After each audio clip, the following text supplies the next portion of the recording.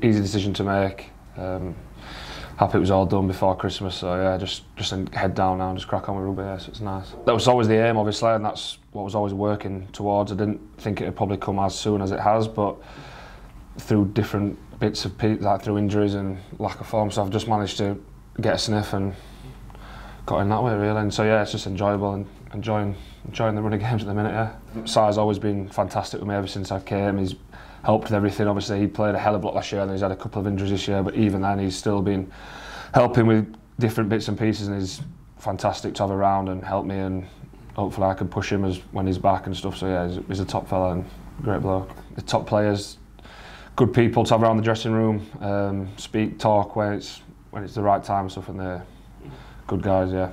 Yeah, as a youngster though, yeah, as a yeah, as a while, a while ago though, so it was that was good. So it'll be interesting this week. It certainly wasn't full when I played there, um, but yeah, it should be good. Looking forward to it. Um, they're a good team, Quins well, so they'll be coming. They'll be coming at us hard. So be a good battle. Be a good challenge for us. It was county championship, uh, Yorkshire, Gloucestershire, I think, Okay.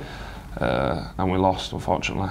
But um, yeah, that was the last time I played there as a kid, yeah. Playing against Quins is, is it's a massive game anyway over this festive period, so it's, it's one that we've been targeting. But um, to play at Twickenham, full house, will be fantastic.